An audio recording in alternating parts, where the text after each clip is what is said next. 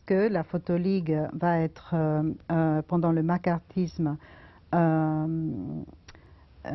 être qualifiée comme association anti-américaine et, donc, toutes les personnes qui avaient eu euh, quelque chose à faire avec la Photoligue euh, vont être enquêtées. Les, agents de la CIA vont lui poser des questions, euh, mais elle n'a jamais été accusée. Ça va lui quand même faire des, gros problèmes. Les revues vont laisser d'acheter ses reportages. Et à partir de ce moment-là, elle va se dédier à, l'enseignement de la photo. Et puis par après, c'est Bérénice Abbott aussi qui va l'introduire à la New School. Et, et, là, elle va, elle va commencer à enseigner d'une façon régulière, non, des cours.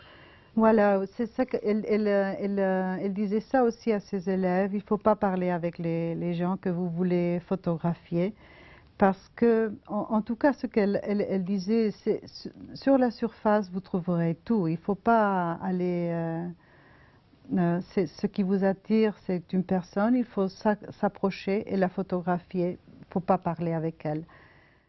It seems to me that the people I photograph are extremely strong and vital. That life has made a strong impact on their bodies and on their appearances, which is always a sign of strength. Because there are 90% of people who run around, they have no physiognomies. They imitate Hollywood and this and this and that and that they look this way. Very few people come out with a tremendous physiognomy of their lives, experiences, feelings and emotions. C'est vrai que par exemple dans cette image, euh, dans ce portrait qu'elle a fait de la, célèbre euh, baigneuse à Coney Island, euh, la première photo, elle, est arrivée sur Coney Island, sur la plage, elle a vu cette femme qui, riait, qui, était là au bord de la mer, et il a fait la première photo qu'elle est debout.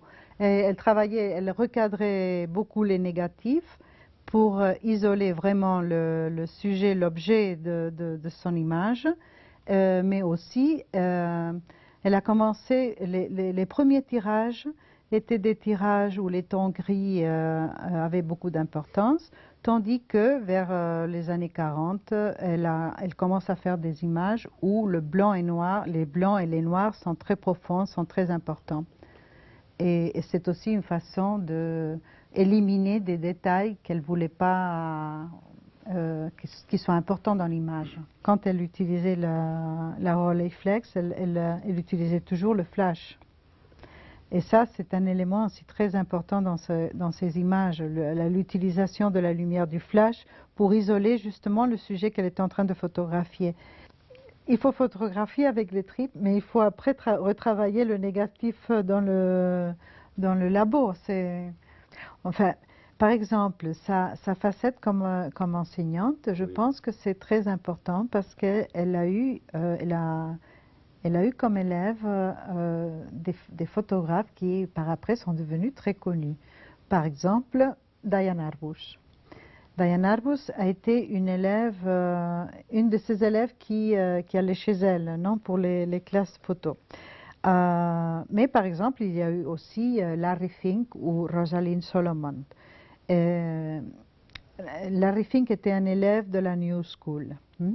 et, il disait dans, un entretien, il expliquait que Lisette Model ne montrait jamais ses images, ses propres images aux élèves. Elle disait, elle, montrait, elle montrait les images de photographes qu'elle aimait bien, mais pas les images, ses propres images.